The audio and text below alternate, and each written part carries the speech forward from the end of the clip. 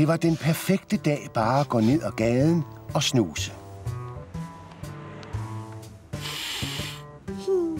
Så det var præcis, hvad Peter gjorde.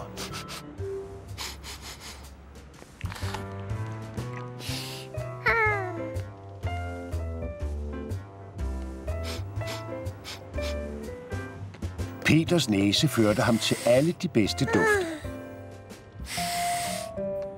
Og så nåede han abenæsernes paradis. Hej med dig, Peter. Det dufter endnu bedre herinde. Peter fattede ikke, at alle de ting, der ikke duftede af noget, kunne blive til noget så fantastisk som en donut. Peter spekulerede på, hvad det var for en slags trolddom, en donutbager kendte. Men så kom hans ører i vejen for hans næse. Peters ven Gnocchi udkæmpede en tvikkamp med sin ærkefjende, den ekstra store nuttesløjfe. Peter forstod ikke kattesprog, men han lyttede høfligt.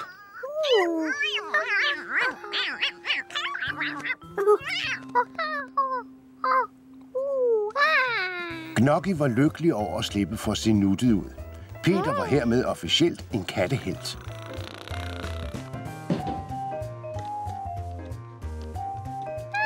Peter havde nær glemt, at det var snusedag i dag. Men så tog herr Paskettis køkken ham ved næsen. Herr Paskettis køkken var som, som et cirkus for næsen. Gnocchi, min søde lille kattemis. Du har tabt din fine sløjfe. Gå mere, gå mere. Bu, bu, bu, bu, bu. Så, nu er hun nuttet. Velkommen, Pietro. Hvordan går det med din ven, manden med den gule hat? Oh, jeg kan ikke lege. Jeg er ved at lave et helt specielt måltid til den berømte restaurantanmelder, Sally Tessio. Når hun kan lide et sted, strømmer folk til. Så det er meget vigtigt, at alting er perfekt. Hun har meget fine smagsløg. Du sagde, der ville være frisk brød. Jeg kan ikke se noget brød her. Ja, hendes smagsløg er fine. Men hendes stemme, det er en anden snak.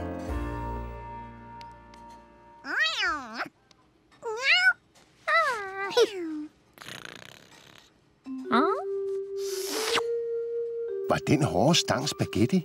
Hmm, den lugtede ikke af noget.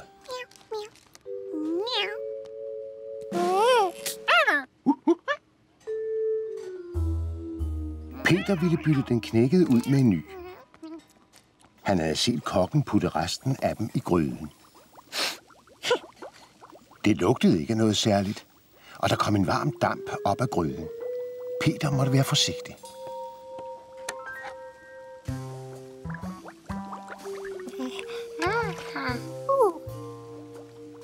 Den var forandret. Måske, måske var det ikke kun donutbageri. Måske var alle køkkener magiske. Her var der en gryde, som forvandlede hårde ting til slaskede ting.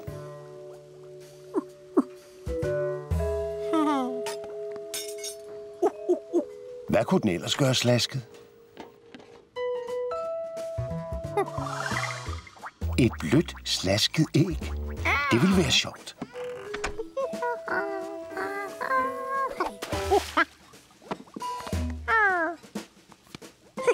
En god kandidat til slaskifikation.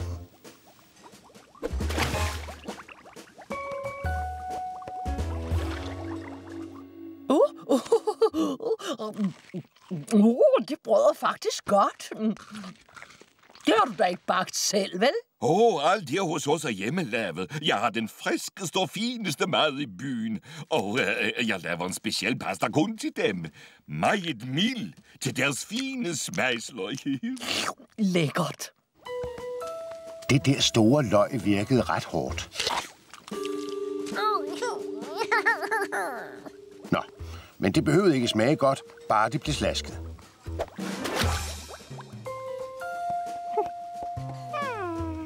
Hvis sukker var blødt og slasket i stedet for kornet, Så kunne man tykke på det hele dagen som tykkegummi. Han hældte noget sukker i slaskifikationsgryden. Det forsvandt. Han fattede ikke et suk.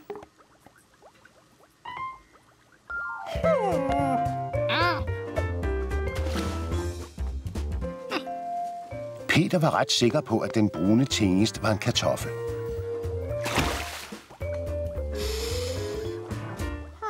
Mystisk. Grønne grøntsagskøller.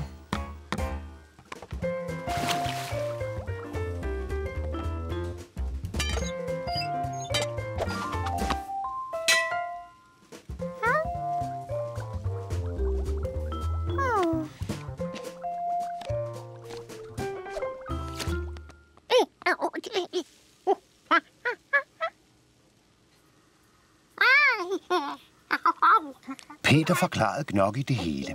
Blandt andet, hvor sjovt det slaskede æg ville komme til at se ud.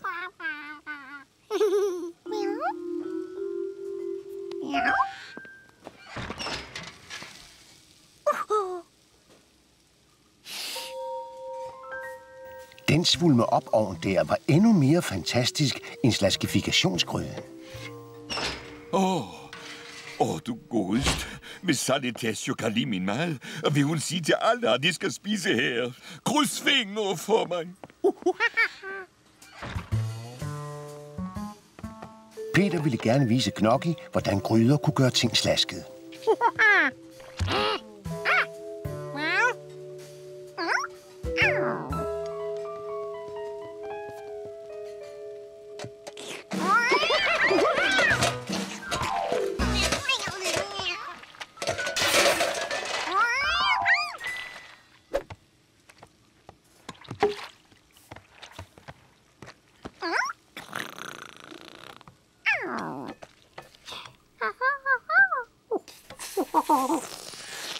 var det for en larm? Åh, oh, jeg er jo lykkelig. Hvad har I gjort? Jeg kan jo ikke servere delikat pasta med en lille abe siddende midt i. Ah, I det mindste har jeg stadig den her gryde ren spaghetti. Peter vidste, at kokken ville blive glad for alle de sjove ekstra ting, han havde gjort slasket. Hvem har forvandlet min rene pasta til overfyldt skesuppe?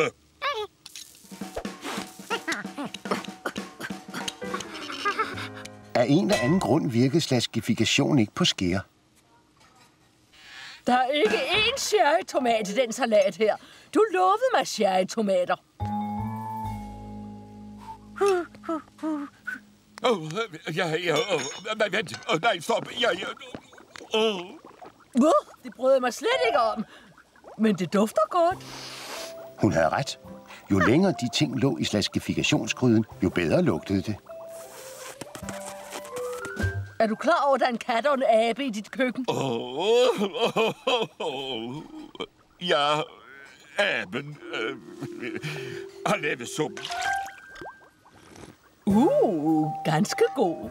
Men de sagde, at de ikke kunne lide den. Hvis du havde lavet den, duede den ikke. Men når det er en abe... Uhu! Hvad er hans opskrift? Og det er... øh, Glem det, jeg har den. Herr Paschetti skældte ikke Peter ret meget ud, men han insisterede på, at han gjorde rent efter sig. Åh, oh, du er heldig, du har fire hænder. Du kan gøre rent dobbelt så hurtigt. Åh, oh, bare jeg vidste, hvordan du havde valgt de ingredienser. Asparges. De grønne spyd var blevet lækre og slaskede. Et hårdkogt æg. Men ægget så ikke spor slasket ud. Æg slaskificerer æg. De bliver hårde. En masse ost. Ost bliver helt splattet. Man kunne ikke regne med noget som helst inden for madlavning. Jeg er færdig! du sagde, der var småkager. Hør, denne ret er fortræffelig. Hvad kalder du den? Ravioli alla krisesituation med øh, kødbolle. Fire stjerner og en ekstra stjerne for kødbollen. Og din abe skal også have en stjerne. Åh, oh, hvor er dog gavmild. Der er varme småkager på vej, som lovet.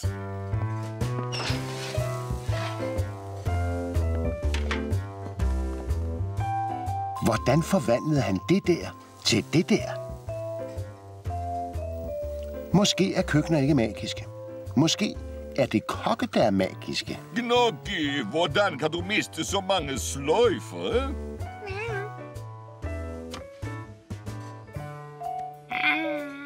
En hver dag, der begynder med at dufte.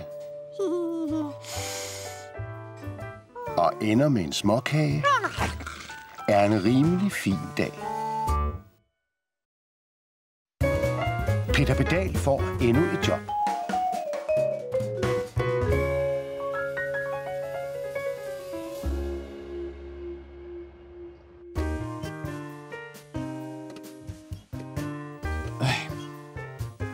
Hunsen var stolt over at være en hund, der ikke lod sig distrahere. Han var altid fokuseret på sit arbejde. Hvad enten hans ven dørmanden var klar over det eller ej. Og hvad er der, ven? Sulten igen? Oh, elevatoren er her. Godmorgen. Ja, det er en dejlig dag. I må nyde den. Godmorgen til dig også, Hunsen.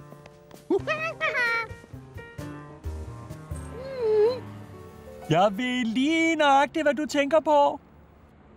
Hunsen tænkte, at med Peter derude ville byen måske ikke overleve. Eller værre endnu, ende i det rene kaos. Hvem ved, hvad den sultne hund vil have? Jeg læser dine tanker, var? De klogeste gravhunde er altid de mest misforståede. Peter ville gerne vise manden med den gule hat, hvor han havde udført sit arbejde. I herr Paschettis køkken. Åh, oh, Pietro var en stor hjælp for mig. Han var særlig god til at gøre rent efter sig. Ja, han har også en hel del øvelse. Åh, oh, jeg er bange for, at jeg ikke har noget arbejde til dig i dag. Ah, ved du hvad? Min ven her Glas har brug for hjælp i den anden ende af byen, og du ville være perfekt til det job. Åh, oh, Peter, jeg har ikke tid til at køre tværs gennem byen. Måske en anden dag. Øh, ja, altså, jeg har faktisk tid, hvis det er i orden med dig. Jamen, fint, okay. Lover du at være en god lille abe? Jobbet er i den bygning, min ven ejer. Glaspaladset. Som jeg sagde til dig, kok, jeg skal bruge en vinduespusser, der kan arbejde højt, højt, højt, højt, højt, højt oppe, uden at blive svimmel. Det var seks gange højt. Åh, oh, det er mange højt. Øh, men her glas, Pietro er god til at klatre. Han er en abe. Tillykke med jobbet. Samtlige vinduer skal være pudset inden kvart over to. Kan du klare det?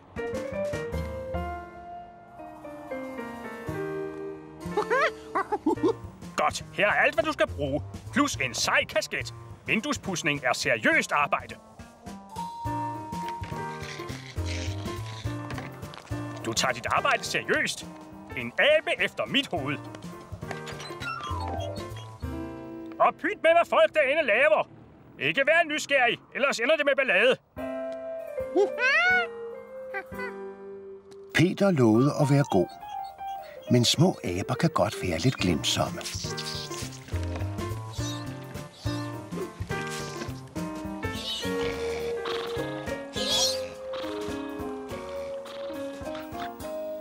Det var svært ikke at kigge ind, men Peter koncentrerede sig om sit arbejde.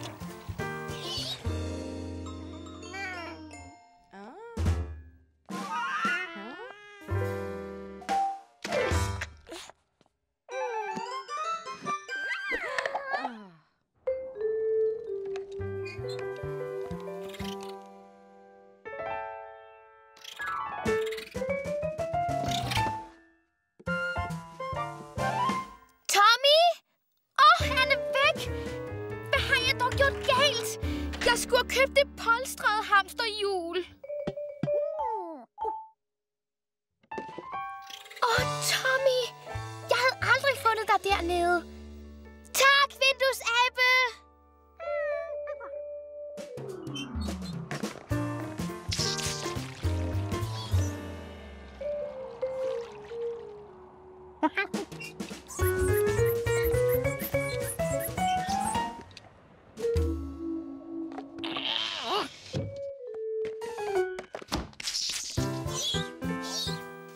Er du kommet for at ordne lyset? Det er altid for mørkt til at læse herinde. Åh, oh, det er jo meget bedre. Men det er stadig for mørkt til at læse.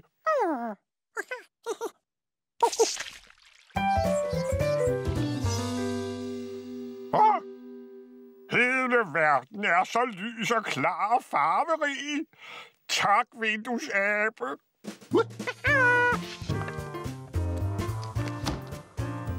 Peter var ved at være træt. Og der var stadig mange ruder, der skulle pusses.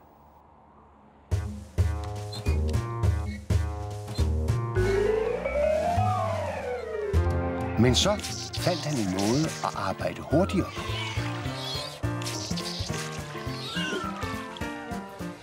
Peter synes, han så en giraf. Det lignede fuldkommen en giraf. Kunne en giraf bo her? Ja, det var vel muligt. Og det lignede en zebra og en leopard. Det var den bedste fest, Peter nogensinde havde set.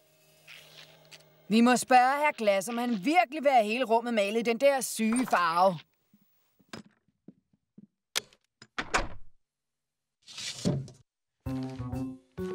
Peter spekulerede på, om giraffen boede her sammen med en ven, ligesom manden med den gule hat. Giraffen og zebraen sagde ikke hej. Måske kunne de ikke se Peter i mørket.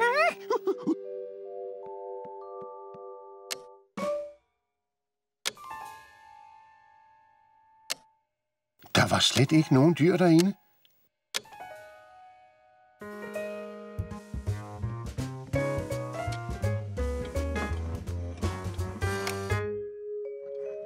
Det var en fantastisk ting. Skygger, der lavede dyr ud af møbler. Hvis bare man kunne vise andre denne fantastiske ting.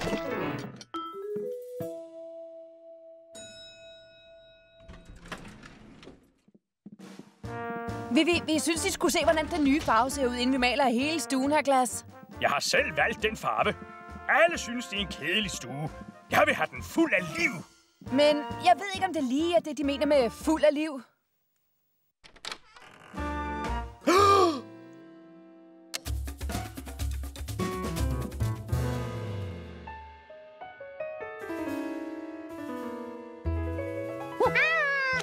Peter var glad. Der var kommet nogen for at se, hvad han havde lavet. Men de så ikke ret glade ud. Hmm, måske skulle de lige kigge lidt på det.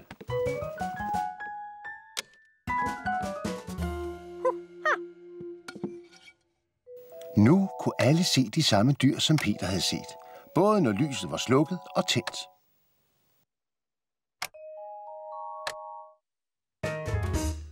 Har I lavet det her? Nej, den abe må have gjort det. Peter havde set utilfredse folk før. De havde som regel brug for at være lidt i fred. Stop den abe!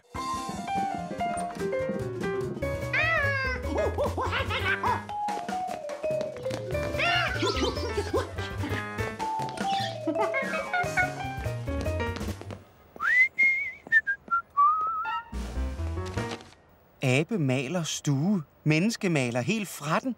Det kan kun være Peter.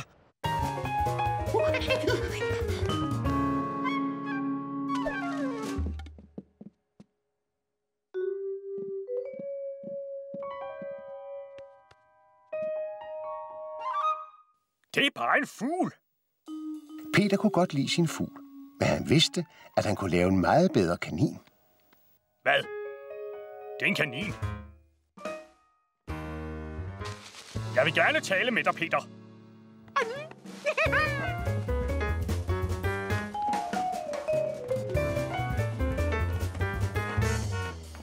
Peter!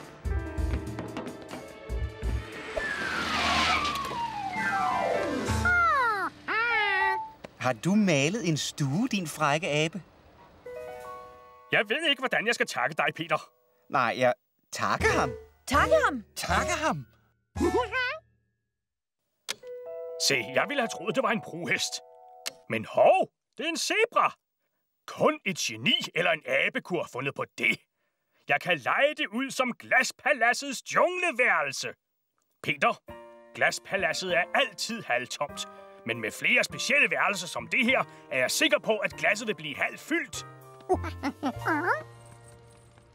Har jeg haft en god dag? Ja, Peter fik et job i dag, og det gik bare så godt.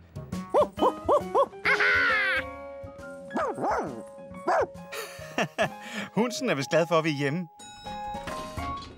Hundsen var meget glad for at vide, at Peter var hjemme.